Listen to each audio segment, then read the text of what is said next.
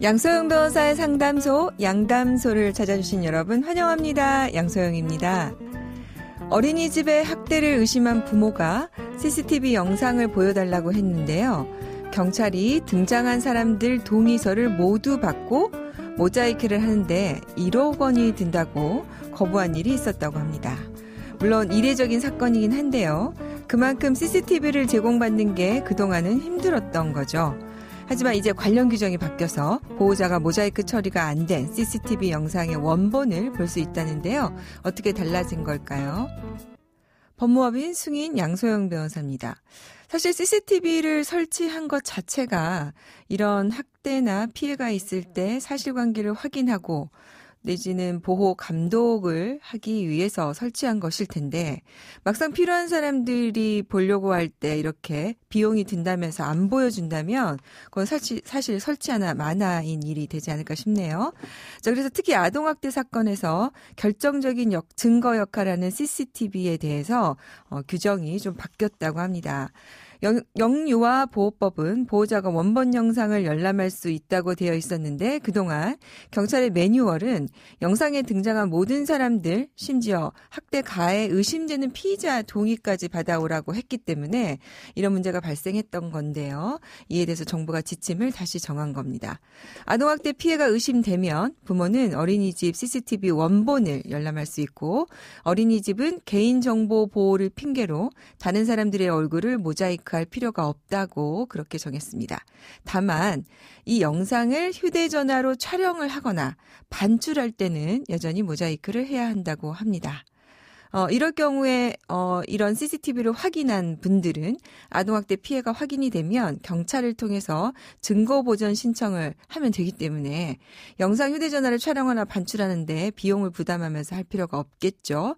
어, 관련 지침이 매우 현실적으로 잘 바뀐 것 같아서 다행입니다. 최근 아동학대 사건들이 끊이지 않고 있는데요. 이런 변화들이 내 아이를 안심하고 키우는 사회를 만드는 방법이 될 수 있을 것 같습니다.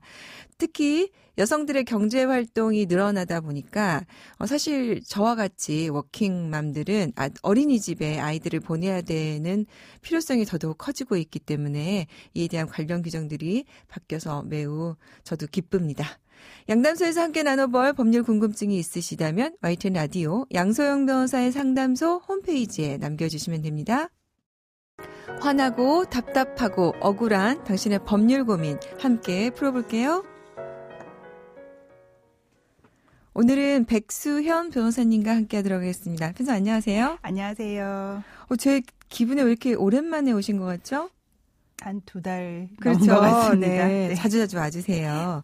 자, 오늘은 양담소 홈페이지에 청취자분이 올린 사연을 만나보려고 하는데요. 사연 먼저 듣고 풀어보도록 하겠습니다. 1997년 경제 위기가 다가오던 그때 저희 부부는 신혼여행을 다녀왔습니다. 그런데 시댁에 도착하자마자 어이없는 이야기를 들었습니다. 시댁의 주택 2층에 살고 있던 누나네가 야반도주를 했다는 겁니다. 게다가 누나는 평소 시어머니 돈을 관리를 했고 시어머니의 지인들 돈과 자매들 돈, 아버님 퇴직금까지 싹 들고 갔다고 해요. 그 전까지 가족들은 돈 문제로 얘기를 나눈 적이 없어서 서로 서로 돈 떼인 걸 사건이 나고 알게 됐습니다. 당시 시부모님이 살고 있던 주택에 가압류가 들어와 형제들이 돈을 모아 풀기도 했고요. 떼인 돈만 대략 3억 이상 되는 것 같습니다. 시댁을 위기로 몰았던 누나네는 20여 년이 지났지만 연락도 없고 사과도 없는 상태이고요. 지금 집은 시부모님 명의로 되어 있는데 최근 아버님 건강이 나빠지면서 재산 분할에 대한 얘기를 꺼내셨습니다.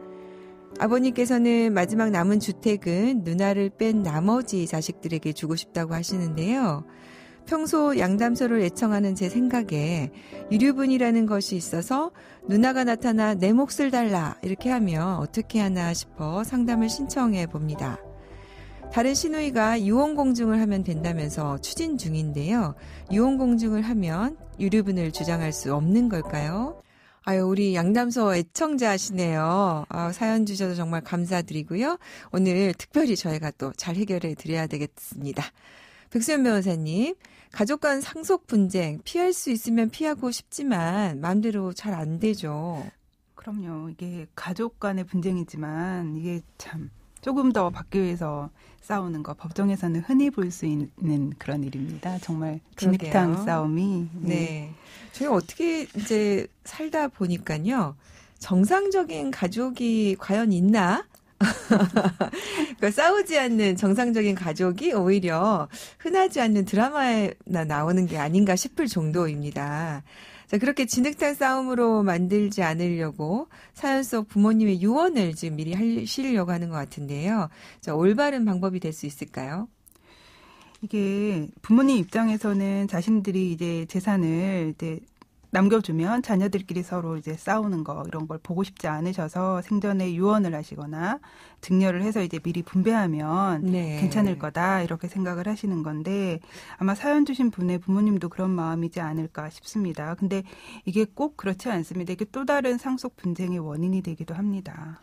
그러니까 지금 제외된 자녀가 또 문제를 제기할 그럼요. 것 때문에 네. 그런다는 말씀이신 거죠. 이게 이제 왜 법적으로는 왜 그렇게 될까요?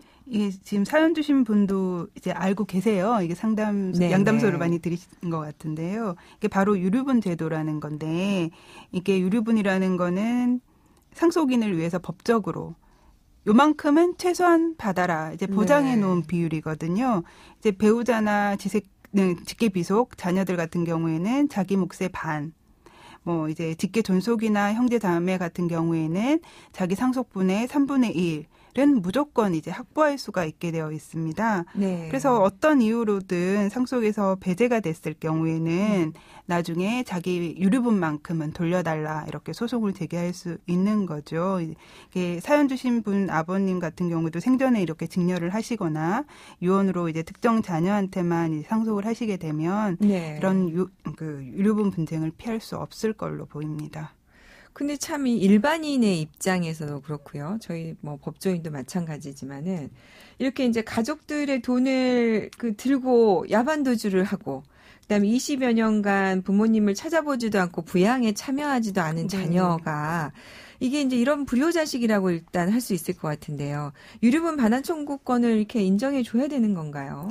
이 논의는 사실 오랫동안 지속되어 온 논의입니다. 그 실제로 2010년도 그러니까 지금 10년도 더 전에 네. 이미 이게 헌법재판소에서도 한번 위헌인지 아닌지를 판단한 적이 있습니다. 아, 그래요? 네네. 그때는 이제 합헌이다. 이게 피상속인의 재산 처분 행위의 자유도 음. 있지만 유족들의 생존권도 보호해야 한다. 네. 라고 해서 당시에는 이제 이게 합헌 결정이 났는데 이제 그 후로도 이제 시, 시대적으로 상황이 바뀌고 인식도 바뀌고 그 피상속인 재산에 아무 기여도 없고 오히려 지금 사연 주신 분 가족처럼 피해를 끼치고 오히려 불효자이고 폐륜적인 행위를 한 경우에도 그러니까요. 네 그런 경우에도 단지 부모 자식이라는 이유만으로 유류분이 인정되어야 되느냐 하는 논의가 지금까지도 있어 오고 있고요. 네. 지금 현재 이 부분에 대해서 헌법재판소에서 위헌법률 심판 네. 사건이 계속 계류 중에 있는 중입니다. 그게 언제쯤 결론이 날지 모르겠는데 아마 네. 올해 안에는 결론이 날 것 같은데요. 그 지금 이게 인식이 좀 이제는 좀 많이 변했죠. 유류분에 대해서. 일반인들도 지금 이게 문제가 있다. 이게 불효자가 과연 이렇게 받아가는 게 합당하냐 이런 네. 논의도 있고요. 실제로 이제 유류분 재판을 하는 판사들이 이게 위헌 아니냐 하는 네. 문제 의식을 가지고 헌법재판소에 직접 위헌법률 심판 제청 을한 경우 네. 또 있습니다. 그래서 아마 이제 법관들의 인식까지 이렇게 좀 바뀌고 있는 걸 보면 아무래도 이런 시대 상황이나 인식들을 반영해서 아마 조만간 헌법재판소에서 판단을 하지 않을까 네. 그런 생각을 하고 있습니다. 그러니까 정리를 해보면 이제 상속인의 내 재산이니까 내가 원하는 사람에게 물려주고 싶다는 이런 상속인의 재산, 아, 피상속인의 피상속인 네, 피상속인의 재산 처분권과 어, 나머지 유족에 대한 생존권 이 두 가지 중에서 어떤 것이 우선하느냐 그- 이런 문제겠군요. 그렇죠. 네, 네. 근데 이제 그 보호받아야 할 유족이 불효자일 경우에도 해야 네. 되느냐 문제인데 법으로 자, 네, 그죠? 법으로 유류분 비율이 2분의 1, 3분의 네. 1딱 정해져 있고 그러니까요. 그럼 사연으로 네. 돌아와서 보면 지금 이렇게 질문을 주셨어요. 유언 공증을 지금 하시겠다고 합니다. 자, 이럴 경우에 뭐 다른 방법은 없는지 이 유언, 유언 공증만으로 충분한지 한번 변호사님 답변을 주시면 어떨까요? 유언이나 요원 공증이나 유류분 문제가 생기는 건 마찬가지입니다. 네. 유류분 분쟁은 피할 수 없을 것 같고요.